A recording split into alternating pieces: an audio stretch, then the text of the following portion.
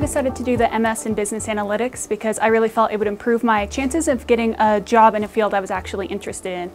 Uh, after I finished my undergraduate degree, there was a selection of jobs I was qualified for and a selection of jobs I wanted to apply for, and those two didn't overlap as well as I wanted them to. The extra year of education ensured that I would have the skills I needed to succeed. Uh, my experience so far has been pretty fantastic, actually. I am interested in going into the technical side of consulting after I graduate, and this has been perfect for that. I've learned a lot of skills both for time management, project management, as well as the technical skills necessary such as SQL, R, and even Python Python is what I'm working on now. Possibly the best part of the program so far has been the internship that I've just started in the second semester. Um, and within that internship, I'm not only applying the things I learned in class, but getting to branch out beyond that and learning new skills every day.